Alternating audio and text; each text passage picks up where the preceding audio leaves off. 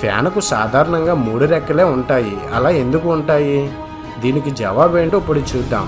ఫ్యాన్కు ఒకే రెక్క ఉండడం వీలు కాదు కాబట్టి రెండు లేదా అంతకన్నా ఎక్కువ రెక్కలు ఉండాలి. అలాగని రెక్కలు మరీ ఎక్కువైపోతే వాటి మధ్య గ్యాప్ కూడా తక్కువైపోతుంది. ఫ్యాన్ చేసే పని ఏంటో తెలుసా? తన వెనక గాలిని రెక్కల ద్వారా ముందుకు నెట్టడం మాత్రమే. అలాంటప్పుడు రెక్కల మధ్య గ్యాప్ తక్కువైతే గాలి త్వరితంగా ముందుకు రావడం చాలా కష్టం.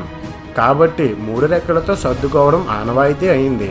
పెద్ద పెద్ద సభల్లోనూ పెళ్ళి పందిట్లలోనూ తీవ్రమైన వేగంతో గాలిని దూరంగా నెట్టే తుఫాన్ ఫ్యాన్లకు రెండే రెండు రెక్కలు ఉండడం గమనించే ఉంటారు.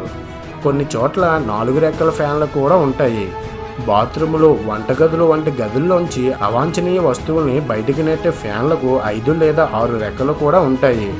ఇక వేగం అవసరాల ఆధారంగా రెక్కల సంఖ్య మారుతూ వస్తుంది.